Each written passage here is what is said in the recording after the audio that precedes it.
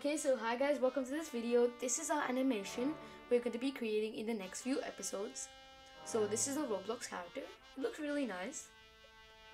And the color scheme I think is good. So we're creating identical twin buddies. One is walking, one is standing still. Um, so yeah. This is what we're going to be making. I'm going to go into mesh view so it's not that laggy anymore. And you can see the mesh is what we're going to be creating today. So we're not going to be creating the animations, we're going to create a mesh. So firstly, I'm going to go and open a new blend file. I'm just going to save it for now. Now what I'm going to be doing is, before anything else, turn on cavity. It makes the edges look much more cleaner and neater, and it looks 3D. That's why I really like cavity. So before anything else, I am just going to actually turn, go, go to modifiers and go subdivision surface. Now I'm gonna add it to like three or something like that, and then um, tab in, and then go Control R. Now we have to add two loop cuts right here. So I'm just going to turn my mouse wheel up and create two loop cuts. And then scale them in the Z axis. Now we made the head. It looks like a Roblox head, but I'm just going to shade auto smooth now. And then apply our subdivision surface. So now it's like the vertices have been applied. Okay, so now I'm just gonna scale um 0.5. Oops, sorry. Yep, yeah. Because we want it not that big or not too small either. So now what I'm gonna be doing is to be actually. Oh wait, my cursor's um stuck. Uh, should I move it or um? I'm just gonna move it. So I'm gonna view the selected object. So that's our head. It looks really nice. And now I'm going to be adding another cube. This is going to be our body part. So now I'm just going to scale 0.5 so it's in proportion. This looks really cool and then move it up. So that's our body area. I am now just going to um, actually scale it in the y-axis. Yes, y-axis. And then scale in the x-axis. We do that again. Yes, okay, that works. Scale in the x-axis. And our body part is nearly complete. I'm just going to select the bottom part after going Alt-Z and then move it down. I'm probably going to move it down a bit more later. I'm not sure, but okay. That's our body part done. I'm just going to tweak it around, um, see what's right for me, and yeah. Okay, I just moved it around a bit, and that looks amazing. Okay, anyway, I'm just to tab out. And now Shift D and then tab back in. Now what I'm to be doing is to actually be making the arms. Scale in the x-axis. And then go to minus Y view and then move it in the x-axis. That's our arm. It looks really good.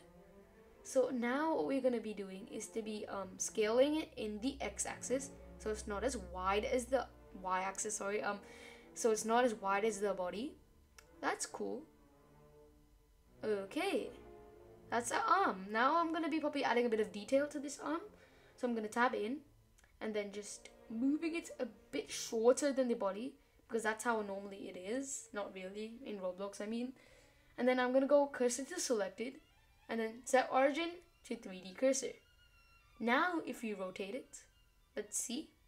It rotates like that. It looks amazing. I mean, like, the animating part is going to be so much fun. Uh, that's in a later episode. I'm going to go view selected object, tab in, and then go control R and add two subdivisions. Now I'm just going to scale it, not too big, not too small either. Like about that much is good. And then move it down. Now's the fun part. We're going to be auto extruding. I'm just going to alt select, oops, wrong one. And now what I'm going to be doing is extrude face along normals, alt E, and then move it in. That looks amazing. Okay, so now what I'm going to be doing after I add the detail is probably duplicate it onto the other side. I might be adding a mirror, but I don't think mirror is that good because once you get to you, you have to go like, it's a really hard process, so I'm just not going to do mirror. I'm just going to duplicate it so it's separate from the start and then move it approximately to where you want it to go. Like there is fine. I mean like yeah, that looks nice. But I think the body is a bit a hint too short. That's the problem. So I'm just gonna select both my arms. Oops, wrong selections. And I'm gonna select, go to minus Y, and then select both of these. Now I'm gonna go O for like the proportional size thing.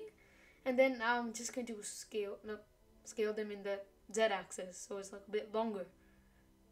Yeah, that looks nice. That looks nice. Whoa, we're getting into the style now.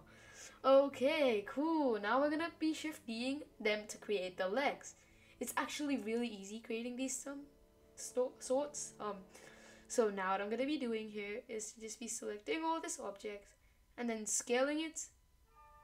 Oh wait, no, just turn off oh like the proportional size for now, and then scale it in the x-axis. Okay. I'm just going to proportionally size this. Oh. Oh, I think I made a fatal mistake. Not a fatal one, but like, I think I made a mistake. Oh no. You have to go Alt Z, guys, remember. You have to remember. If you guys corrected me, thank you. You have to go Alt Z, then scale it. Or else only like the area you selected will be scaled. So that's enough, Robina. Now I'm just going to duplicate this in the x-axis Okay, completed. And that actually looks sick. I mean, this character looks insane. Okay, so now I'm just gonna um go to that one only and then select the under vertice and then go shift S, cursor to selected. Now I'm just going to go to the rest of our objects and then set origin to 3D cursor. I'm gonna go Shift S, cursor to world origin back again. And finally, we're gonna do parenting. I'm gonna select all the other objects and selecting the abdomen or the body. And I'm gonna go keep transform. Now, if we move that, it moves the whole thing. It's amazing, right? If you guys want me to make a more detailed video, I'll make a more detailed video next time. You guys can just comment down below. So that's our plane. And that's a Robloxian character. Looks insane. I love it. It's amazing. Now, animating. This is insane as well. We're gonna be fixing like the hovering bits, but hi. Yeah, that, that, that, that just looks insane. Like, yeah. So play around with it if you want. I was trying to make a dabbing animation. Nope, nope, nope. We're gonna fixing that next video. Okay, so see you guys. Bye. See you guys in the next one. Over now.